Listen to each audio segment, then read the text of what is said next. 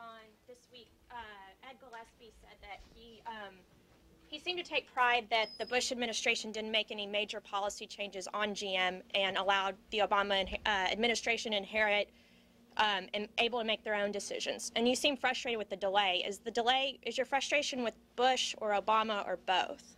Uh, I indicated at the time that, that uh, the auto executives came to Washington asking for, for bailout money that I thought it was a mistake to provide bailout money then.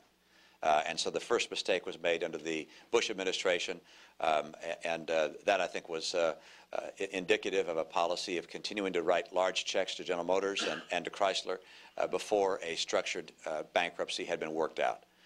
And I indicated that at the time. So I'm not, I'm not pointing the finger at, at only one president, but, but at the administration policies of both. This is, and frankly, uh, the, the, Detroit should not have uh, waited until the moment that it was in desperate need of cash to come to Washington. It should have been aware of this issue some time ago and taken measures uh, either in a prepackaged bankruptcy that did not have to go through the court or in one that did go through the court. This should have been done some time ago. It would have saved the American taxpayer billions upon billions of dollars. Uh, and, and let the management and the board, and if you will, to a certain degree, shareholders and secured creditors uh, have the, uh, the ability to, to guide the process rather than having the government do that.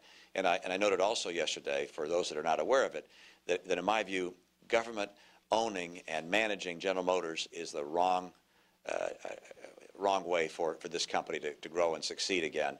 Uh, that the shares that the government has, in my view, should be immediately distributed to the taxpayers uh, of the United States of America. Uh, and, and the extent to which shares that are held by the UAW could be distributed to the UAW members rather than voted by uh, UAW, uh, the UAW CEO, that, in my view, would, uh, would also make sense. Let's get these shares in the hands of the public and let these companies be run uh, for the purpose of generating profits and jobs and growth and stability rather than uh, having political uh, purposes. As you can imagine, uh, uh, when you have an administration that received extraordinary support from organized labor, uh, calling the shots at a corporation, the decisions about which plants to close are going to be influenced by uh, which senators from which state, um, where, where the UAW is, uh, is going to be most concerned, is going to have a- an influence on an administration that's, uh, uh, that's in a majority position at GM. Th- these kinds of, uh, of concerns are real, and that's why I think the American public uh, deserves to have those shares. And of course, not everybody's going to hold on to them. People will sell them and buy them and group them together and, and be able to uh, see the company be more successful. By the way, people might be more inclined to buy GM products if they owned GM shares. Uh, so I think that's the right, the right course for, for this company.